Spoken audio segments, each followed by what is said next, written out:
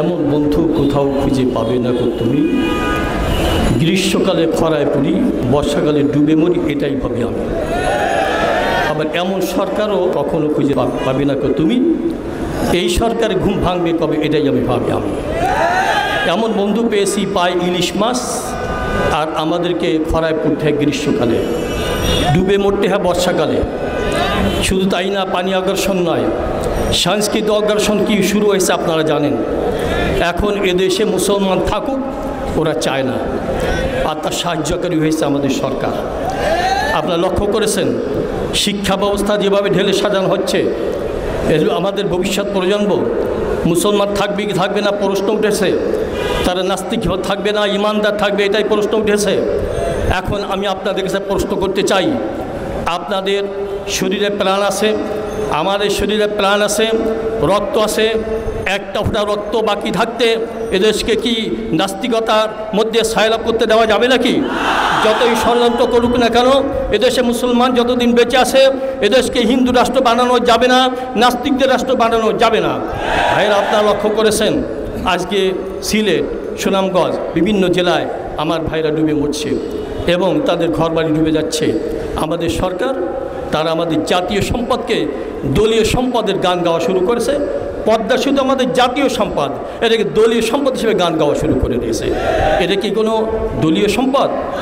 আমাদের অর্থে তৈরি হয়েছে। দেখবেন এই পদ্মা সেতুর গান গাইতে গাইতে সিলের কথা ভুলে গেছে, সুনামগঞ্জের কথা ভুলে গেছে, রংপুরের কথা ভুলে গেছে, কুড়িগ্রামের কথা ভুলে গেছে।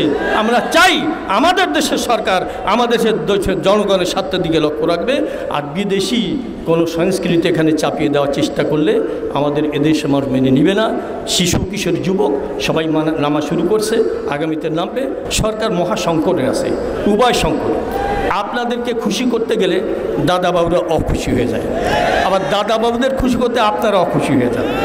দেখেন অবস্থা, এদেশের দুর্নীতিবাজদেরকে যদি নিয়ন্ত্রণ করে, আপনারা খুশি হবেন।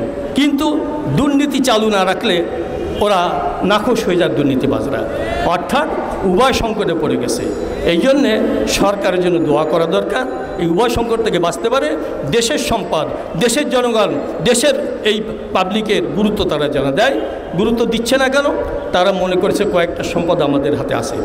এক হলো অসাধু পুলিশদেরকে খরিদ করব। দুই নম্বর কিছু গন্ডা গুন্ডা মুস্তানকে লালন করব। তিন নম্বর দুর্নীতিবাজদেরকে আশ্রয় দিব। তাহলে আমাদের এই গতি যায় কোথায়? এই জন্যে এই সম্পদের উপর তারা ভরসা করেছে। এই ভরসা করেছে যারা, টিকে থাকতে পারে নাই। আমাদের বাংলাদেশ ইতিহাস যে সরকারই আসছে, ইসলাম আর মুসলমানের উপর কিছু না কিছু আঘাত দিয়েছে এবং পতনের সময় অপমানজনক পতন হয়েছে। আমার ধারণা, আমার বিশ্বাস এই সরকারের পতন হবে অপমানজনক পতন কোরআনকে অপমান করেছে, ইসলামকে অপমান করেছে, মুসলমানদেরকে অপমান করেছে, তাদের হেদায়ত আল্লাপাক নসিব করুন আর না হলে আল্লাপাক তাদের ব্যবস্থা করে দেন। আমিন।